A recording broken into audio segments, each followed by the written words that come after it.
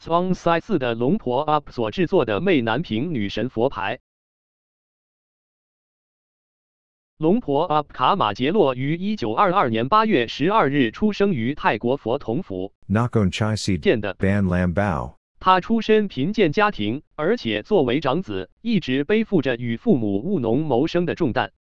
厌倦了劳作之后，他想出了一个办法。二十岁时，他决定在秉承古老传统的.自出家为僧。他的师傅是龙婆马，一位圣物督造师，也是一位著名的密宗修行者。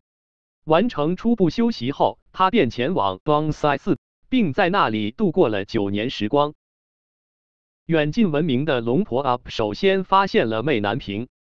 在老挝、柬埔寨、缅甸朝圣时，龙婆 UP 曾拜访高棉灵性导师，了解媚南屏的魅力。学会了这种奇特的咒语后，他将其带回了 Zhongsai 寺。在朝圣途中，龙婆 UP 从途经国的修行者那里学习了一些独特的法门。最后，他来到了 Wang Chao Tu 寺，在那里修行了两年，直到1965年结束。最终，他又回到了 Bonsai 寺，于二零一二年八月二十五日圆寂，享年九十岁。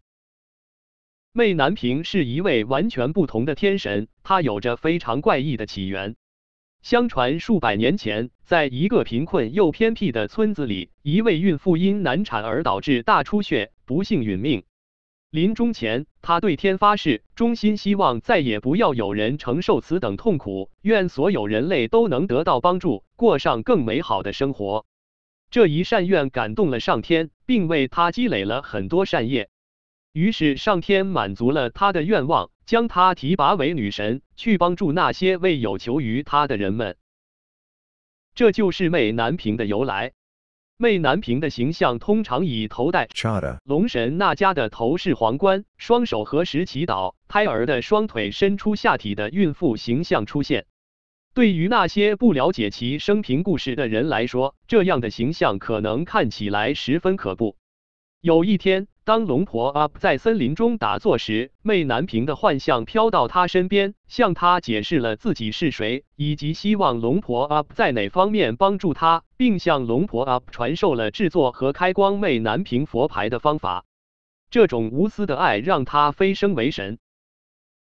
媚南屏佛牌是由 Zhongsai 寺的龙婆 UP 制作的，许多人都认为该佛牌已将大师的圣域封印于其中。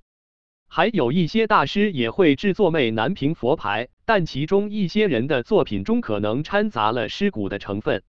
简言之，媚南屏是一位神圣而仁慈的 Zep，大致翻译为天使，而其佛牌主要的制作者就是 Zhongsai 寺的龙婆 UP。众所周知，龙婆一般不喜欢使用符咒成分，但有少数例外，只有在他明确同意的情况下才能用于制作。很多人都尊崇媚南屏，对他的长愿能力极其信赖。由于媚南屏具有招财作用，所以许多泰国商界人士都成为他的忠实信徒。很多孕妇也喜欢佩戴其佛牌，希望它能够护佑胎儿顺产和平安。媚南屏佛牌在泰国佛统府和世界各地，包括中国、台湾、马来西亚、新加坡和印度尼西亚的许多善信中都备受推崇。它可以防范危险和为生活的方方面面提供支持。它可与其他佛牌一起摆放，例如古曼童或招财女神，可令其法力大增。现在让我们念诵预备祈祷文。在向任何泰国佛像或佛牌念诵咒语之前，首先念诵三遍此佛手经。Namo tassa bhagavato arahato samma sambuddhassa.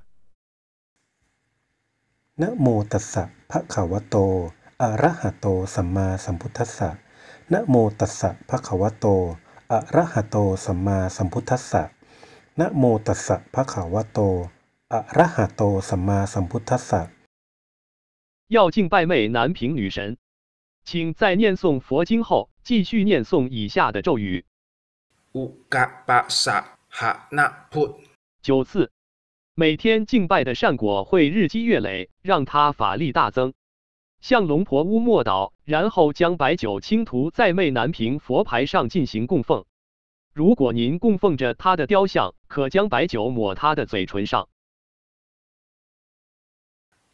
嘎巴萨哈那，嘎巴萨哈那，嘎巴萨。 หะนะพุทอุกะปะสะหะนะพุทอุกะปะสะหะนะพุทอุกะปะสะหะนะพุทอุกะปะสะหะนะพุทอุกะปะสะหะนะพุทอุกะปะสะหะนะพุท 但是利用符咒只能放大福主的善果善信平时仍要小心谨慎多行善举才能不断获得良好的福报。